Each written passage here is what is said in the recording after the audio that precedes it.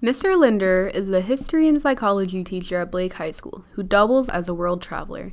His curiosity leads him to find many new experiences. I've traveled to Poland, Germany, Turkey, Greece, Czech Republic, did I say Hungary, Italy, France, England, Canada, Peru was also really interesting because I saw like really severe poverty for the first time, like people without running water and um, living in, you know, these kind of huts that were kind of held together, and um, it kind of makes you forget people live in those conditions.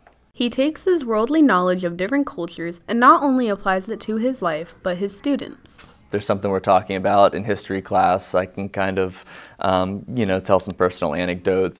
Linderer says that traveling has helped him with his anxiety. It's because um, when you when you travel, you oftentimes put yourself in kind of situations where you're doing things for the first time and you're not exactly sure how it's going to shake out. And it's kind of given me confidence that I can navigate those situations successfully. The beloved psych teacher recommends traveling for all, as it is the best way to gain knowledge and grow personally. I think it's really the best cure for prejudice and, cl and closed-mindedness is getting out there and seeing and learning about you know other people and kind of takes the mystery and the unknown out of the world.